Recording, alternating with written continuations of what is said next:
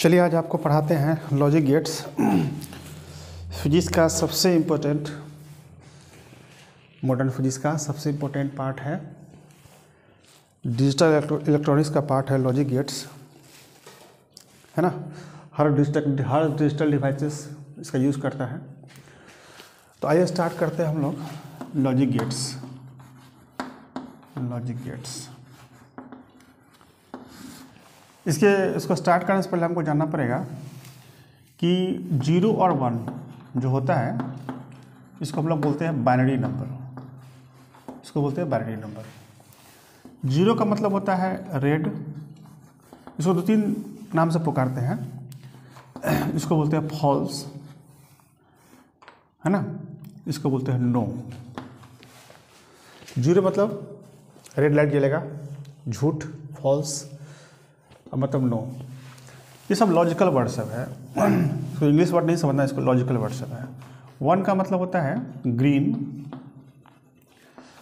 और ये किसके लिए काम करता है? ट्रू इसका मतलब है यस ये बात हमको समझ में आ गया कि ज़ीरो को हम बोलते हैं रेड या इसको फॉल्स या इसको नो या तो रेड कलर जलेगा, या ज़ीरो का मतलब झूठ।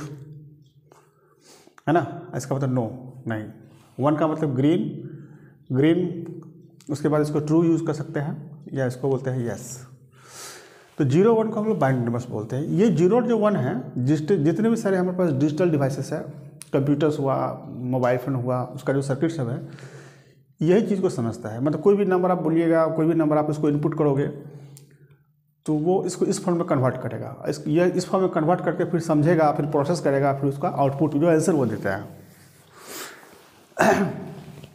तो बाइनरी नंबर्स ऐसे नंबर होते हैं जो जिसका यूज़ हम लॉजिकल ऑपरेशन में करते हैं। तो लॉजिकल ऑपरेशन क्या है? तो लॉजिकल वर्ड यही है है ना? ज़ीरो को हम लोग बोलते हैं फॉल्स, झूठ, वन को बोलते हैं ट्रू, ज़ीरो को बोलते हैं रेड, इसको बोलते हैं नो, इसको बोलते हैं यस। लॉजिकल ऑपरेशन करने के लिए जो हमको डिवाइस चाहिए, जो हमको चिप चाहिए स्मॉल स्मॉल चिप चाहिए, लॉजिकल ऑपरेशन करने के लिए जो हमको डिवाइस चाहिए, उस डिवाइस का नाम होता है लॉजिक गेट्स। तो लॉजिक गेट्स ऐसे इलेक्ट्रॉनिक डिवाइसेस होते हैं जो लॉजिकल ऑपरेशन करते हैं। लॉजिकल ऑपरेशन मतलब इसको जोड़ेगा, इसको मल्टीप्लाई करेगा, इसको उल्टा करेगा। मतलब ये सब चीज़ को हम मैथमेटिकल ऑपरेशन नहीं, इसको अल्जेब्रिक ऑपरेशन इसको लॉजिकल ऑपरेशन बोलते हैं। तो पहले आपको याद रखना है कि लॉजिक गेट्स ऐसे इलेक्ट्रॉनिक डिवाइसेस होते हैं इलेक्ट्रॉनिक्स चिप्स होते हैं छोटे छोटे चिप्स जो लॉजिकल ऑपरेशन करते हैं। बेसिकली हमारे पास बेसिकली हमारे पास और गेट होता है एंड गेट होता है। ये क्या करेगा? प्लस करेगा। ये क्या करेगा? मल्टीप्लाई करता है। उसके बाद नॉट गेट होता है। तीनों गेट होता है। ये उसको उल्टा करेगा, है ना? इसको इन्वर्ट करेगा मतलब उसको उल्टा करेगा। इस तीनों को हम लोग बोलते हैं बेसिक लॉजिक गेट तो बेसिक लॉजिक गेट कितने हैं? तीन गो है। Or gate and gate not gate or plus करेगा एंड मल्टीप्लाई करेगा नॉट उसको उल्टा करेगा। मतलब येस को नो करेगा नो को येस करेगा ज़ीरो को वन करेगा वन को ज़ीरो करेगा। तो याद रखिए, इस तीनों को हम लोग बोलते हैं बेसिक लॉजिक गेट्स अच्छा इसके ऑपरेशन करने के लिए, इसके ऑपरेशन को हम बताने के लिए मतलब जो हम इसको इनपुट देंगे, वो वो क्या आउटपुट देगा? तो इनपुट आउटपुट को बताने के लिए एक टेबल का हम बनाते हैं, एक टेबल बनाते हैं, एक टेबल बनाते हैं, इसको हम बोलते हैं ट्रूथ टेबल तो एक हमने टेबल बनाया, एक टेबल यह टेबल में दो चीज़ होगा, एक होगा इनपुट एक होगा आउटपुट आउटपुट इसको हम क्या क्या चीज़ देंगे? और उसको देने के बाद वो क्या क्या आंसर देगा? तो आंसर देगा तो आउटपुट हो गया.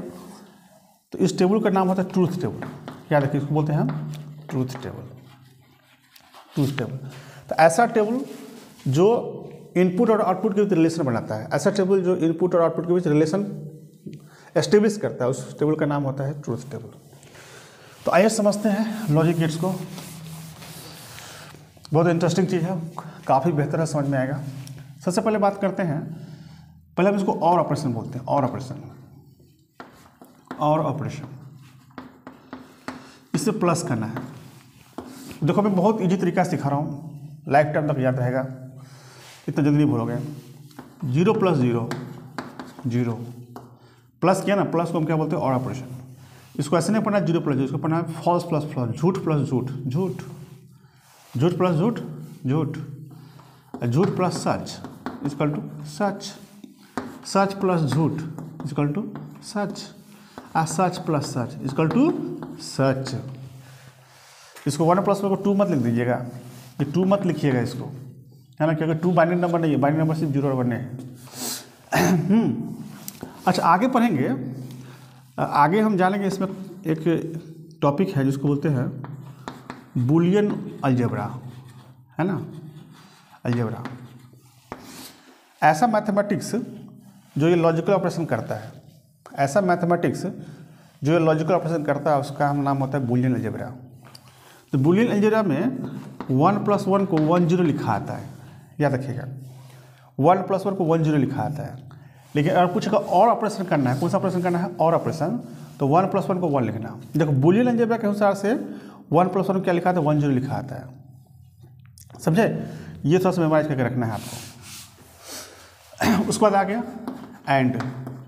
एंड तो मल्टीप्लाई करेगा। तो झूठ इंटू झूठ। झूठ। सच इंटू झूठ झूठ और झूठ इंटू सच झूठ और सच इंटू सच सच इसमें और में क्या होता है कि और में आंसर हमारा सच तभी होगा जब दोनों में से कोई एक भी सच हो जाए। याद रखना है कि और ऑपरेशन में हमारा आंसर वन तभी आएगा जब दोनों में से कोई भी एक वन आएगा। एंड में याद रखना है कि आंसर हमारा वन तभी आता है जब दोनों में से कोई, दोनों में से दोनों का दोनों मतलब वन होना चाहिए। फिर से बता रहा हूँ, और में हमारा आंसर वन तभी आता है जब दोनों में से कोई एक भी हमारा सच हो जाए तो आंसर बनना चलेगा एंड में क्या होता है क्योंकि तो मल्टीप्लाई करते हैं। तो इस मल्टीप्लाई में हमारा आंसर वन तभी आएगा जब दोनों वन होगा। जनरल मल्टीप्लिकेशन का भी, के तरीका से भी आप सोच सकते हैं। अच्छा ये होता है और का सिंबल इसमें दो गो इनपुट हुआ, यहाँ से हम सप्लाई करेंगे। ये जो मैं ज़ीरो वन ज़ीरो वन जो बोला, यहाँ से दो गो इनपुट करेंगे और यहाँ से आंसर देगा। तो इनपुट का नाम होता है ए बी आउटपुट का नाम होता है वाई तो क्या गो पिन है? देखो इनपुट में कितना पिन है? तो इनपुट में दो गो पिन है आउटपुट में कितना है? ए गो। तो अगर इनपुट पिन मान लो इसमें एक ही इनपुट पिन होता तो भी इसका आउटपुट एक ही होता। तो अगर इनपुट पिन का संख्या, मान लो एन है एन जो है, वो नंबर ऑफ़ इनपुट है। एन क्या है? नंबर ऑफ़ इनपुट तब इस इनपुट को हम कितना तरीका से लिख सकते हैं? टू का पावर एन तरीका से लिख सकते हैं।